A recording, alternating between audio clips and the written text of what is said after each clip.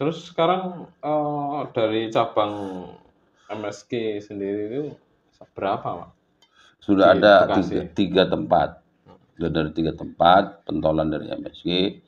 Ya yang sekarang di belakang saya ini udah punya sendiri sabun jagat. Di Cipitok itu juga saya merintis. Hmm. Berawal dari saya juga untuk bisa menjadi yang terbanyak Hmm. di antara Teman-teman semua. teman-teman yang lain channel YouTube-nya sudah selesai tugas saya ya MSG juga sudah ada yang sudah mengcover Hmm. sudah memimpin dengan Mas Jerinya Hmm. dan Mas Saiful di sono Agunanto juga sama yang di daerah sono dia sudah merintis sendiri di rumahnya nah kiran saya yang sekarang Merintis. Dari awal lagi. dari awal lagi dimulai dari lima orang sekarang alhamdulillah Assalamualaikum warahmatullahi wabarakatuh. Waalaikumsalam warahmatullahi wabarakatuh Alhamdulillah, alhamdulillah, wa syukurillah, wa nikmatillah, wa la hawla wa la quwata illa billah, amma ba'du. Allahumma sholli ala sayyidina Muhammad wa ala ali sayyidina Muhammad. Ah, terima kasih telah mengikuti channel Kenderirang. Berjumpa lagi bersama channel Kenderirang. Ah, kali ini kita ketemu sama Padepokan Cahyani Langit. Dua hari, eh, dua kali berturut-turut kita sudah kolaborasi dengan Padepokan Santri Langit Santri Langit dari Surabaya. Terus yang kedua Padepokan Singa Langit juga dari daerah Banyuwangi. Nah, ini sekarang dari daerah Jakarta. Padepokan Cahyaning Langit. Serba Langit Serba langit, semuanya langit-langit ini, nggak tahu ini. Ada fenomena apa ini kok sampai langit-langit turun ke Dewirang ini.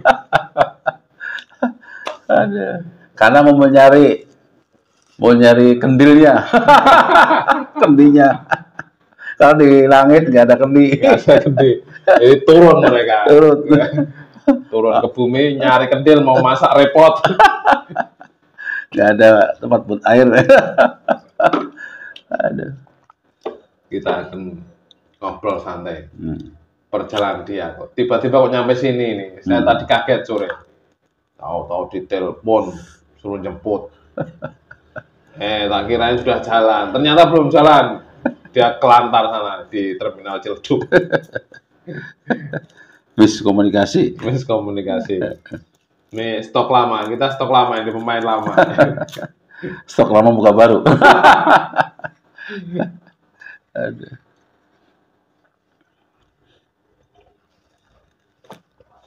Gimana Pak? Kita ngobrol apa ini? Sampean mau menjalankan amalan ini orang lama tapi amalannya agak telat ini. Gak tahu ini. Kebanyakan mikir kayaknya. Kebanyakan membantu sebenarnya bukan mikir. Oh, karena kesibukan itu datang membantu sesama Hmm. teman Hmm. sesama jamaah untuk merintis majelis. Tepatnya di daerah Bekasi. Dua majelis ya kalau MSG itu sebenarnya merintisnya dari rumah saya. Hmm. majelis Sipol Kolbi. Uh, Sipol Kolbi itu merintisnya tiga bulan di rumah saya di parkiran di depan rumah di teras. Awal Itu mula awal mulanya. Tadinya cuma lima orang terus berkembang menjadi sepuluh. Sepuluh itulah pentolan-pentolan awalnya MSG Siapa aja itu Pak? seperti saya saya Hmm. Derry Saiful Mas Hamdani Pak Andi Mas Alpan Hmm. Mas Agung Hmm. gitu. Jahri. Jah Jahri belakangan Oh, Jahri masih belakang. jangan si Jahri setelah berjalan tiga bulan kalau salah itu udah berjalan itu Jahri nah Gunanto ya, ada beberapa pentolan yang sudah Hmm. memisahkan diri bikin majelis masing-masing Gitu. Tapi lokasinya masih pada di Bekasi. Pak? masih di Bekasi ada yang Bekasi kota Bekasi kabupaten Terus sekarang eh, dari cabang MSK sendiri itu berapa, Pak? sudah Di ada Bekasi. tiga, tiga tempat sudah dari tiga tempat pentolan dari MSG ya yang sekarang di belakang saya ini udah punya sendiri sabun jagat di Cipitok itu juga saya merintis Hmm. berawal dari saya juga untuk bisa menjadi yang terbanyak Hmm. di antara teman-teman dan semua. teman-teman yang lain channel YouTube-nya. Sudah selesai tugas saya ya. MSG juga sudah ada yang sudah mengcover sudah memimpin dengan Mas Jerry-nya Hmm. dan Mas Saiful di sono. Agunanto juga sama yang di daerah sono. Dia sudah merintis sendiri di rumahnya. Nah kiran saya yang sekarang merintis. Merintis. Dari awal lagi. dari awal lagi dimulai dari lima orang. sekarang alhamdulillah udah tujuh meningkat lagi ya minimal ada peningkatan lah Iya. tetapi Tapi MSK itu Hmm. berarti ter- sekarang terbagi menjadi berapa? Lima itu tadi ya? tiga Tiga. tiga terbagi jadi tiga pecahannya tiga Hmm. tiga tempat tiga majelis Termasuk Padepokan Cakrawala itu. Ya itu MSG Mas Jerry kalau channel YouTube-nya udah banyak Hmm. karena udah banyak yang pernah bikin masing-masing Hmm. gitu cuma untuk ngumpulnya itu tiga tempat empat tempat. Hmm. empat tempat selain di MSG itu dari tiga di luar MSG gitu ya tapi, memang tapi pernah ini nggak Pak? Apa, Beberapa event gitu kan, kumpul Hmm. semua kayak reunian gitu lah. itu Apa sebulan sekali, apa satu tahun sekali? itu kemarin aja pas zikir Sapariai Hmm. itu kumpul semua nah kalau untuk event-event belum karena masih disibukkan oleh pembangunan MSG yang dipimpin oleh Mas Jerry Hmm. gitu. jadi belum rapi belum, belum mungkin belum dijadwalkan gitu kan nanti suatu saat dijadwalkan kalau sudah rapi ya mungkin suatu saat sebulan sekali dikumpulkan gitu. itu ke depannya bisa saja gitu Ya, sebenarnya kan mengenang masa lalu kan. Nah, dulu kan Mas Agung pernah cerita itu ya, yang yang di dekat di dekat Sungai Citari itu, Hmm. yang, yang kandang ayam itu ya. Mm-mm. Berarti jenengan dulu ikut ke sana. Itu kan MSC pertama. ya MSG pertama itu statusnya karena tanah pinjaman tempat gedung dan tempat Dibangun tanah juga sudah selesai dibangun jalan ternyata yang punyanya melihat sudah layak untuk dipakai untuk bisnis Hmm. akhirnya sekarang udah pakai buat bisnis tetapi karena memang itu orang yang murni bisnis tidak ada tempat ngaji pada mati ayamnya informasinya tertakhir Oh. Kasihan. ya rugi lagi rugi lagi Nah, pengalamannya gimana Pak? Eh, dari awal itu kan ada perjuangan kan. Oh. Bikin, sudah jadi pindah, bikin lagi, oh, oh. pindah lagi kan. ya jadi mungkin sudah jadi ya garis hidup saya takdir lah Allah yang sudah mengatur semuanya Hmm. pada saat merintis pun seperti itu Hmm. pertama MSG di rumah saya Hmm. di teras. Hmm. dengan jumlah satu grup itu total ada 10 orang. Sepuluh orang. 10 orang. Sampai jadilah sekitar di grupnya itu 100 yang aktif setengahnya lah 40 50 orang lah. Akhirnya bertahanlah tiga tahun di situ. Dengan status tanah pinjaman gedung. Itu masih masih satu induk MSG Mm-mm. selama tiga tahun itu. Mm, Nah begitu karena yang punyanya sudah mengambil alih untuk usaha bisnis mereka, bisnisnya anak ayam, akhirnya berpikir untuk mencari tanah baru. Hmm. Nah, ini urunan lah, dapat setengah, terus ada yang menghibahkan, Hmm. Harga- harganya sekitar 85-an. Hmm. Dapat tanah, dibangunlah yang merintis Mas Jerry. Nah, pada saat perpindahan itulah ESJ majelis dirintis Hmm. dialihkan ke situ untuk sementara gitu.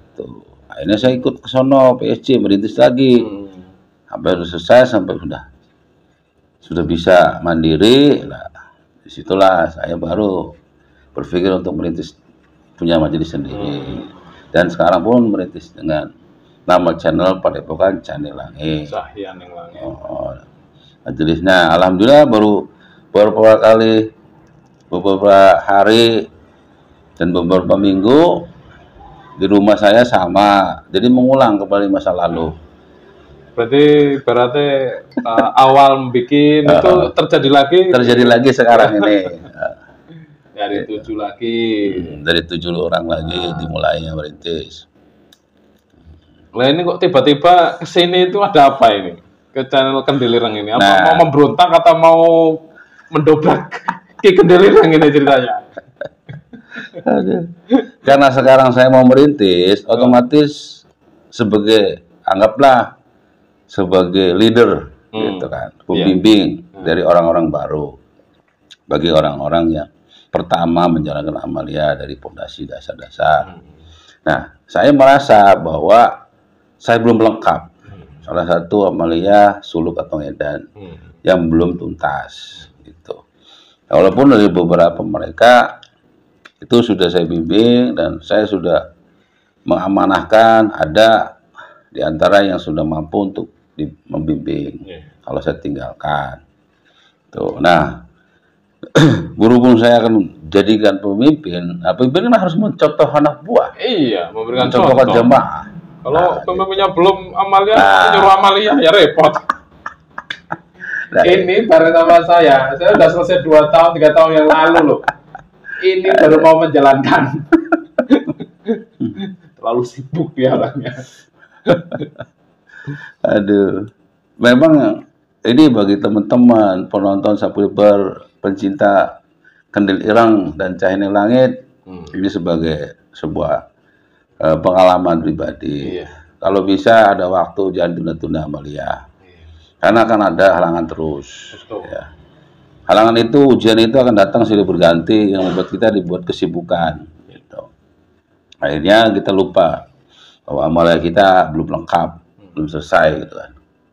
Apalagi nanti kalau sudah banyak jamaahnya, Mm-mm. sudah banyak tamunya, aduh nanti gimana tamunya, nanti gimana jamaahnya, mau amalnya nggak berangkat-berangkat dong. Iya. Jadi kalau saya, alhamdulillah ujiannya itu adalah pasien nggak berhenti. Pas mau berangkat taruh datang ujian. Pas mau berangkat datang lagi ujian.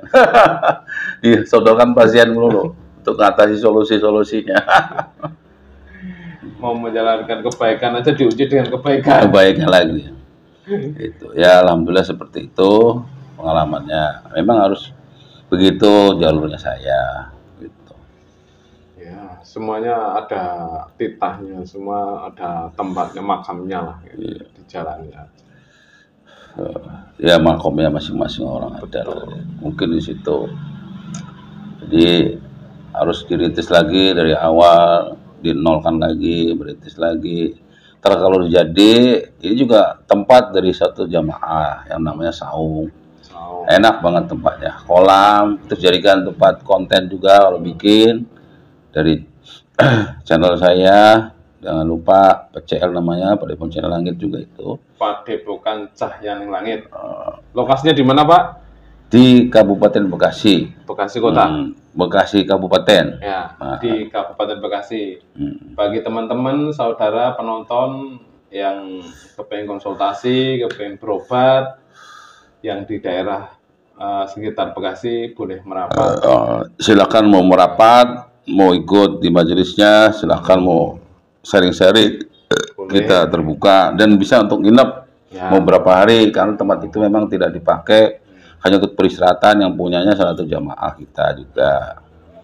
Ada fasilitasnya. Eh, Enak. lengkap fasilitasnya. Ada tempat sholat kamar tidur dan wudhu. Ya. awal kamar mandi udah lengkap. Yo. dan bawahnya kolam. Tinggal kalau ikannya sudah besar tinggal diciduk aja Nah, sendiri. kalau lapar dapur pun ada lapar tinggal mau ngambil sendiri nggak usah mancing ciduk aja ada Ini Pak Wandi rencananya mau menjalankan amalia suluk ngedanya yang kedua yaitu 41 hari. Semoga dimudahkan perjalanannya. Amin, ya Rabbal Alamin. Mohon doanya. para sedulur kendil ireng semuanya yang sudah banyak penontonnya Iya. mohon doanya dilancarkan dimudahkan segala perjalanannya Amin. dan semoga kuat dalam menjalani perjalanan suluknya Amin ya rabbal alamin. Nah, mungkin ada pesan-pesan dari panjenengan untuk teman-teman atau para jamaah yang belum menjalankan amalia gitu kan. Ya, kalau untuk teman-teman yang belum setelah puasa itu kalau bisa harus ada niat. Hmm. Karena niat itu kebaikan pasti sudah dicatat oleh malaikat gitu ya. Ya, niat itu yang akan mempermudah kita untuk menjalani proses ujian-ujiannya ke depannya. Nah, kalau niat sudah kuat, sangat kuat, dorongan sudah kuat, itu tidak usah ditahan. Tadi bakal datang lagi halang-halangan dan kalau bisa niat itu hanya dalam hati diucapkan di sendiri-sendiri tidak usah disebarkan Hmm. karena di situ banyak sekali halangan hambatan yang akan dibaca oleh iblis Hmm. supaya tidak menjalankan Kan dia halang-halangi akan di ini tidak datang gitu. Iya.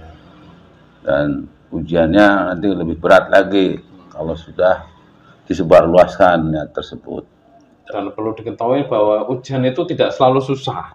Ya, betul. Ujian susah orang kadang-kadang masih bisa, tapi ujian nikmat yang lupa. Nikmat yang lupa itu melupakan. Melupakan. Bisa lalai gitu aja. Salah ya. Ujian nikmat itu paling berat. Berat. Karena itu amanah. iya, kalau ujian susah kan kita banyak ingat, banyak mengingat sama Allah ya Allah, kok saya hidup saya begini ya Allah, kok saya susah kan gitu. kan. Iya, betul. Tapi kalau nikmat kita kan lalai kadang. Hmm.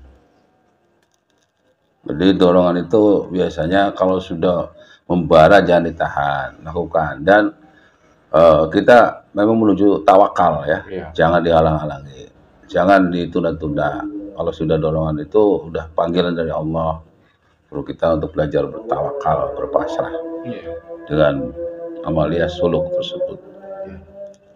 Itu sepik-sepik kita, podcast kita bersama Pak Wandi dari Padepokan Cahyaning Langit Bekasi.